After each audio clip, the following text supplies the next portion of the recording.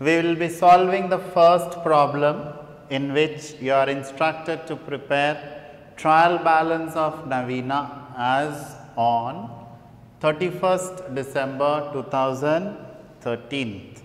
Now, so this is the format as we discussed earlier. So we have a particulars, we have LF and we have a column for debit balances and we have an amount column for credit balances.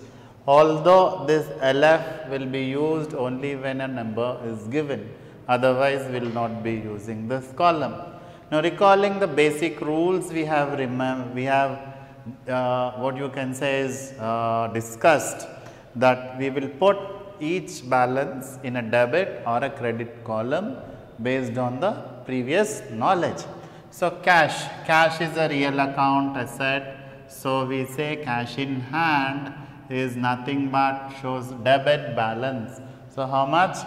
4500. Now, next is bank overdraft personal account. Overdraft means it shows credit balance. So, bank overdraft we will be entering in credit column 8000.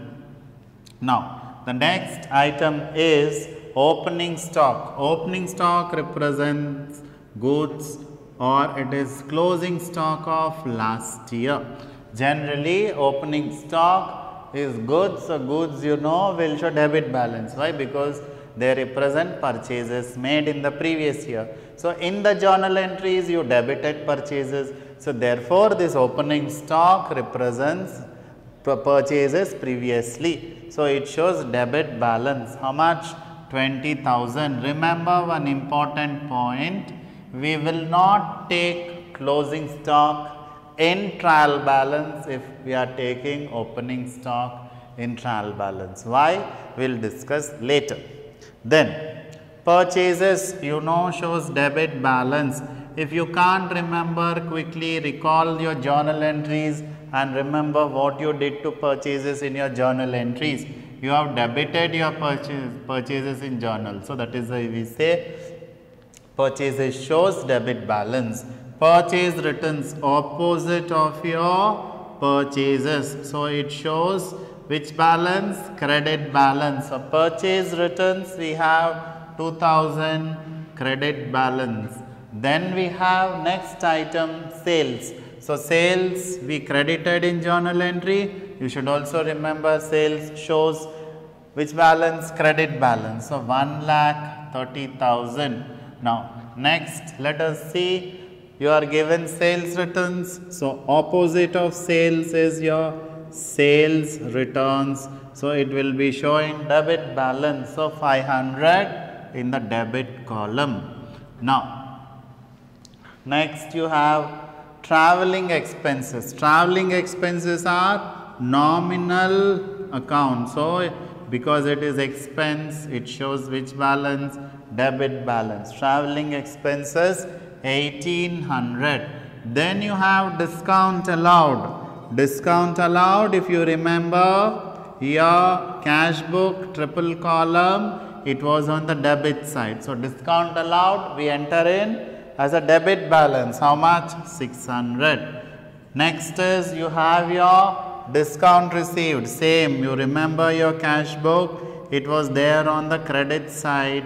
So, it shows credit balance discount received being a gain it shows credit balance then 1500. Now, the next AMA item is machinery. Machinery being real account and an asset, it shows debit balance. So, machinery is 24,000.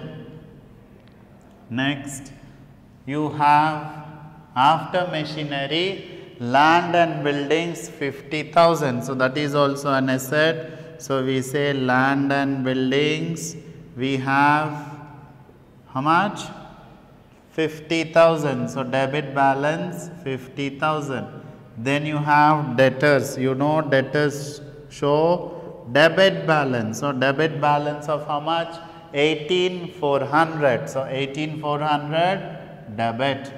Then you have your creditors. So, creditors show a debit balance of, sorry, creditors show credit balance of 8500. Creditors show showing credit balance of 8500.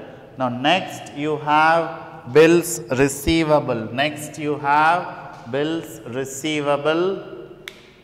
So bills receivable showing a debit balance of 2850. Bills receivable, bills receivable showing a balance of 2850. So we will write bill receivable in debit balance column 2850.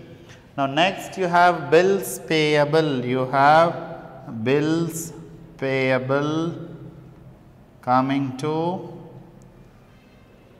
1650. So we write it on the credit 1650. Now coming to the next item, it is capital. So you know capital shows which balance? Credit balance. Capital shows credit balance. So capital of 60,000. So credit balance 60,000. Now